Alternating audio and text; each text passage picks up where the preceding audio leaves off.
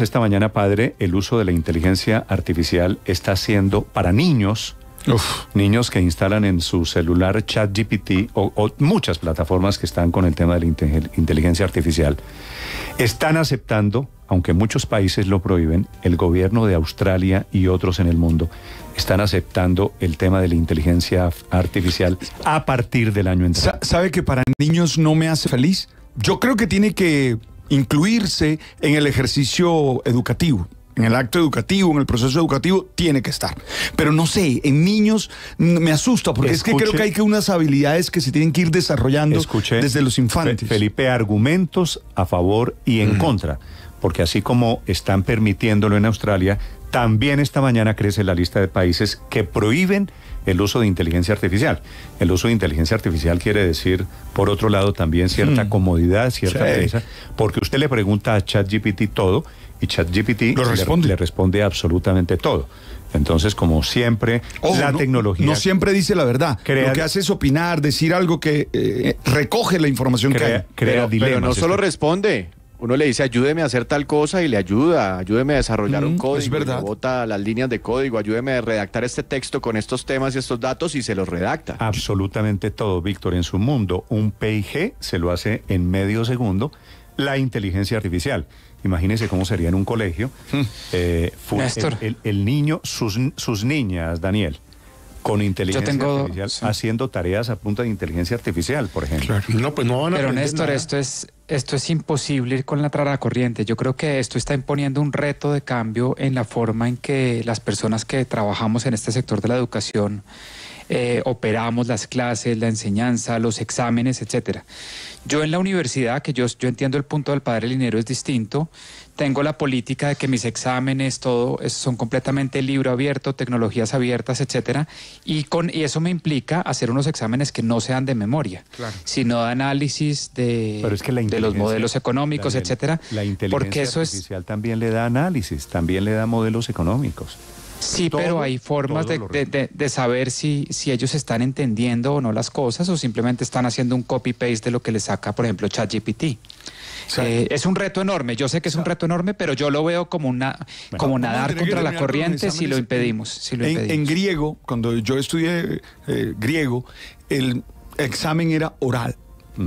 Es decir, Ah, a, usted, eso a usted le daban un verso, a usted le daban un verso, se lo ponían en griego, entonces usted tenía que hacer análisis gramatical, análisis lógico Esa es una- y traducirlo. Es una buena idea. porque- Ahí no había, ahí no había. con el examen oral. Pero lo invito, padre Felipe, a que escuche argumentos en favor y en contra, que este debate de hoy, en bueno, en diferentes partes del mundo no, en todo el mundo, en el mundo entero. Desde Londres, Silvia. Sí, Néstor, y lo que está haciendo Australia, que lo ha anunciado esta mañana, la verdad es que es abso- absolutamente pionero y ellos lo dicen. Somos el primer país en establecer un marco regulador del uso de la inteligencia artificial en la escuela. Eh, la decisión fue votada esta mañana porque sabemos que Australia es una- un país federal, por lo tanto, los seis ministros de educación de los seis estados que integran eh, Australia votaron unánimemente y adoptaron un marco nacional sobre el uso de la tecnología de la inteligencia artificial en las escuelas. Pero mira, déjame decirte esto que a mí ya me sorprendió. Eh, el ChatGPT nosotros lo conocimos porque se lanzó al mundo en noviembre del año 2022, pues el gobierno australiano en diciembre armó la comisión de que tenía que estudiar cómo se iba a integrar esto en la escuela, porque necesitaban saber hacia dónde iban. El ministro federal de Educación, Jason Clark, ha dicho que eh, eh, ChatGPT no va a desaparecer y que es preferible que los niños aprendan a usarlo en la escuela y que no se creen abismos de conocimientos entre los que tienen acceso a la nueva herramienta y los que no.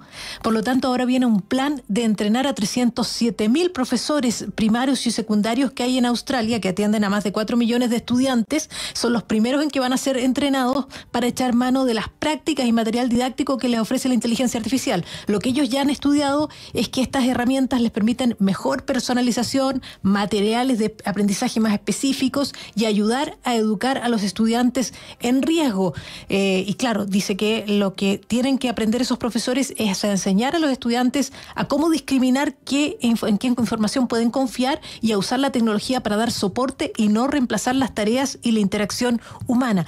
Y esto llama la atención porque hasta ahora, de los seis estados en Australia, había cinco que prohibían el uso de ChatGPT en en la escuela. Y de hecho eso se suma, no bueno, los países que han prohibido ChatGPT son principalmente, eh, son principalmente dictaduras, Néstor, China, Irán, Rusia prohíbe ChatGPT, Corea del Norte, pero también están eh, en las instituciones, o sea, hay muchas eh, escuelas, college, universidades en que lo están prohibiendo, un poco planteando que hay que defender el, el pensamiento original, hay que evitar el, hay que ayudarles a crear conocimiento honesto, y todos esos temas los aborda Australia también, y dicen, pero no podemos dejar a nuestros estudiantes rezagados en el aprendizaje de cómo usar esas herramientas para crear conocimiento honesto y también para, eh, para crear nuevo conocimiento. Dicen que esa es la nueva herramienta y hay que aprender a trabajar con ella. De hecho, dice el ministro de Educación de Australia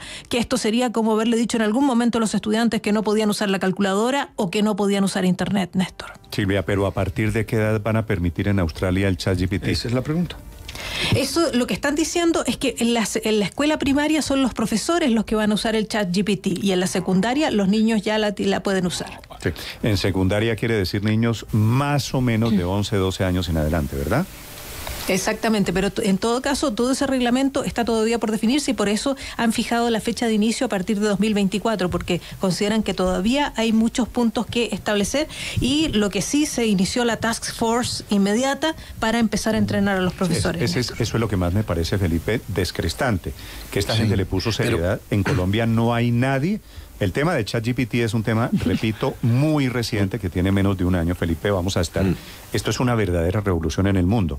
Y en Colombia nadie no nadie en serio. Quiero decir, hay muchas personas que están aprendiendo de a poquito, de cómo se le pregunta, de cuáles son los límites éticos, pero no hay nadie desde el gobierno trabajando de verdad en serio el tema de inteligencia artificial. yo la verdad le prohibiría, empezaría por prohibirlo, eso ya lo hemos discutido aquí en varias oportunidades, el, teléfono a los niños, ¿no? No, no se Pero Felipe, eso, ¿usted cree que a un niño se le puede decir hoy a los 12 años? A un niño de, de, 13, 14 años, eso es imposible. No, porque las tareas ya las mandan por WhatsApp. eso es imposible pero no solo no se puede prohibir el teléfono si usted como, es decir, dicho que todos los niños, o yo, yo me atrevería a decir que todos los niños, sin importar estratos sociales, padre, hmm. tienen teléfono celular. Hmm. ¿Usted cómo les prohíbe que instalen una aplicación de ChatGPT? Pero mire, mire, yo le pongo este. Hay estudios hoy, Felipe, para estar de acuerdo con Felipe, hay estudios que muestran que el no escribir a mano, que el no escribir a mano, ocasiona ciertos retrasos de algunas habilidades y de algunos elementos, mm, habilidades cognitivas ¿no? De esa me estoy refiriendo. Entonces yo sí creo que hay que usar la, tecnología, pero ¿a qué edad? Pero con límites. Y por eso es que países, padre, como Finlandia, volvieron y se echaron para atrás. Ellos habían dicho que iban ya a suspender definitivamente el uso de la enseñanza para escribir a mano, ¿no? Y que solamente le iban a enseñar a hacer en computador, pero resulta que encontraron eso, que se pierde la capacidad de hilaridad de las ideas, de pensar. ese ejército que usted tiene en su casa, mm. ¿usted les deja instalar a sus hijos ChatGPT? Pues que yo sepa, todavía ninguno lo tiene instalado, pero me parece complejísimo. La verdad es que yo no sabría en este momento de la vida de la vida, o de pronto lo tienen y ni pero pero no hay que instalar. sabría, eh, entre otras cosas, por. tiene su hijo mayor? Su hijo mayor. El mayor tiene 13 años. Clasificaría si estuviera en Australia. No, no, no, no, no, no, no. Mm. O sea, su hijo y los mellizos van para dos. Y es que los papás no le revisan los teléfonos a los niños. No, Felipe. Eso no se puede. Pues. ¿Cómo que no se puede? No, no Felipe, sí y no. Porque yo le, yo le digo a Emilio, a ver, déjame ver tu teléfono celular. ¿Y usted cree que Emilio está hecho de qué? Pues me dice, toma, toma. O sea, instala y desinstala con la misma pero, pero para, empezar, pero para empezar, el chat GPT no toca instalarlo, ¿no? Usted puede entrar por una página, usted puede entrar por una página web. Hay, no, pero sí hay aplicación. Hay, aplicación, hay aplicación. Inteligencia, claro, hay aplicación, pero usted puede entrar por la página web. Héctor, ahí hay Claro, claro, pero lo estábamos poniendo de ejemplo del chat GPT y ese no hay que aplicarlo. Está por la está en una página web. Claro, también hay una aplicación que usted puede bajar y que dicen que le funciona mejor, pero lo puede hacer por la página web. pero para qué sirve la inteligencia artificial. Hay aplicaciones claro, que para todo, cómo se le pregunta a la inteligencia artificial. Para todo. Y eso y es obvio que no mm. solamente no hay que prohibírselo, sino que hay que estimularle a los niños el uso de la inteligencia artificial eh, y hay que enseñárselas a hacer de la manera más eficiente, porque por supuesto que esa es una herramienta de conocimiento de, la que no hay. Usted es, es como un computador. A partir ¿Desde qué aprendiendo. edad, Héctor? Usted es profesor. Es la pregunta. Desde sus estudiantes tres tienen- años. Héctor, sus estudiantes tienen cuántos años más o menos? 20 años, ¿cierto? 18, 19, Ok. sí. Eh, usted hace un examen, usted que es profesor en una universidad muy importante, en varias universidades en Bogotá. Usted hace un unos exámenes y le dice a sus estudiantes frescos, saquen ChatGPT. Claro, por supuesto. Entonces, a, ese acuerdo llegamos con hace la semana pasada, justamente cuando convinimos las reglas del examen final. Y entonces, ¿qué les pregunta usted a los estudiantes que no puedan saber o que no puedan responder a través de ChatGPT?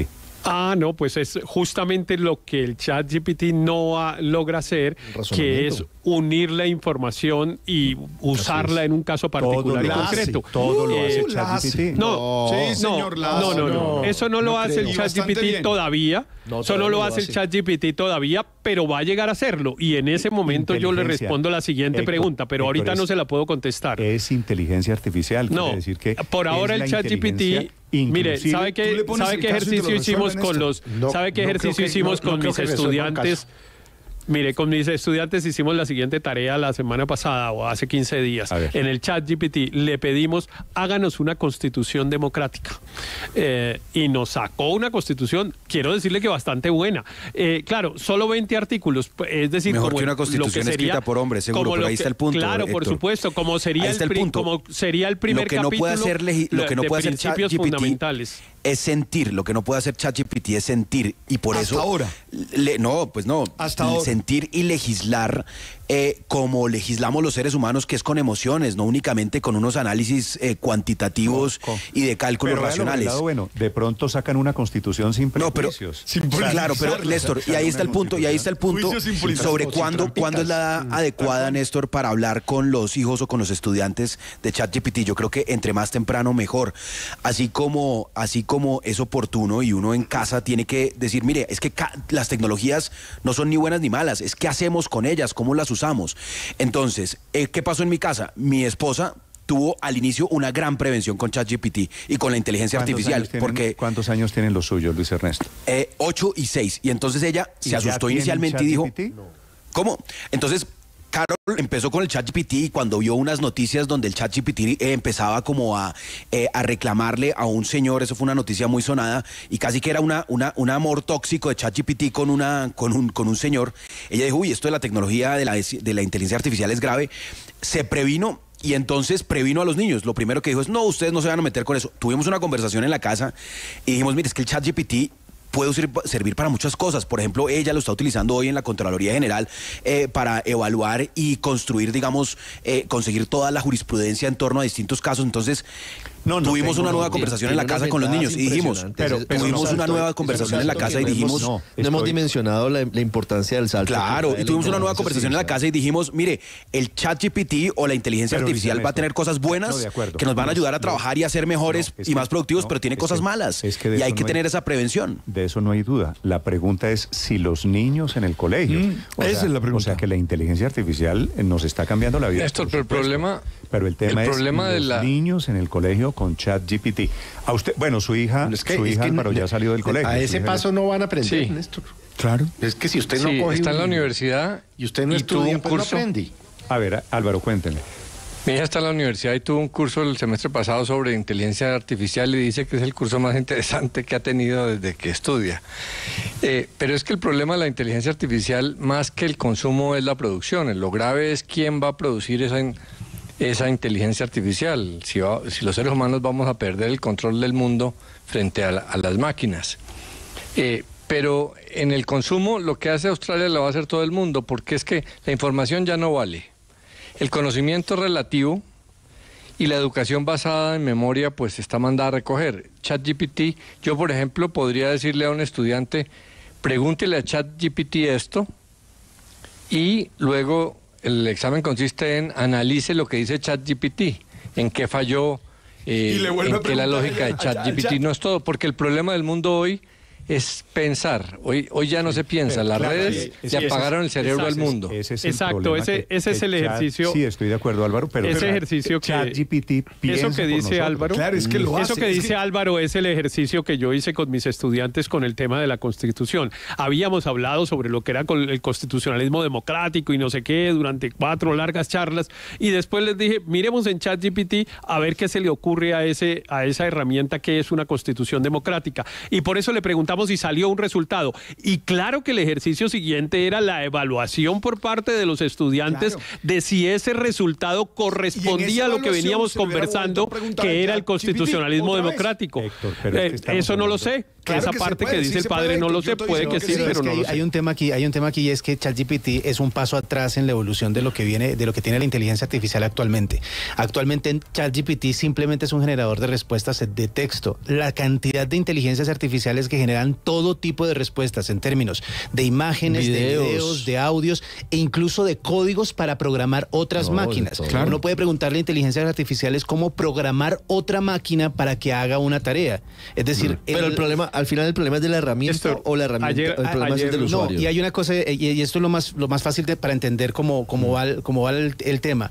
Eh, las inteligencias artificiales se están volviendo expertas en repetir instrucciones, en cumplir con tareas, en recibir órdenes. Lo que va a hacer el ser humano es que se tiene que especializar en ponerle espíritu a esas órdenes y poder Les- explotar las cosas que nos hacen únicos como seres humanos. Mm, Les, voy a hacer una invitación, Néstor. Señor. Ayer tuve una conversación muy agradable con una persona que todos los que estamos aquí apreciamos mucho, que es el doctor Nicolás Uribe, expresidente de la Cámara de Comercio de Bogotá, que, ha- que Ah, que fue está en co- esto. compañero, Está- está que fue compañero con la- nuestro. con la inteligencia Escribe todo el tiempo sobre la inteligencia artificial y dice, miren esta aplicación, hagan tal cosa. Y yo le sigo un poco las recomendaciones. Entonces ayer le dije, hermano, gracias por todo lo que está escribiendo porque me está realmente abriendo un mundo. Dijo que hacía, que estaba dando incluso Sí. charlas y ofreció, ofreció avisarme para la próxima charla. Entonces yo les cuento para que vayamos saliendo todos de la ignorancia Pero- porque pero, esa Héctor, inteligencia artificial acuerdo. la tenemos que saber usar. Ahora, Total. to- ahora, todo lo que me está diciendo Héctor, vuélvalo en el tema de niños. Es que una cosa es la inteligencia artificial para usted y para mí y las herramientas. Que y estamos los viejos y hemos leído. Y otra cosa es la inteligencia artificial para niños, que les recuerdo, es sobre lo cual se está tomando la decisión esta mañana. Pero eso es, es bueno que también aprendan desde pequeños porque a partir de ahí es que generan conocimiento nuevo. Si nosotros aprendimos ¿Cuántos hacer años tantas cosas, su hijo, sus no, yo, yo no tengo hijos, pero conozco mucha gente que tiene hijos. Pero el asunto es este: nosotros aprendimos a leer, a escribir y a observar y con eso construimos un Cuando montón de conocimiento. Cuando un niño se para eh, de- en los hombros de la inteligencia artificial, imagínense lo que puede llegar a crear.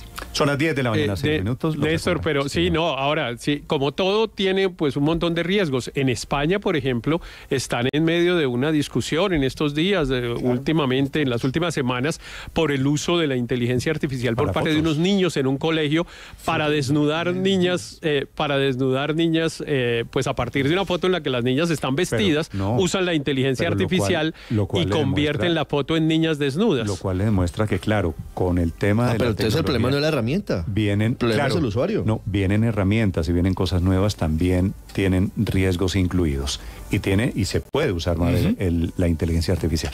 10 de la mañana, 7 minutos. En Mañanas Blue.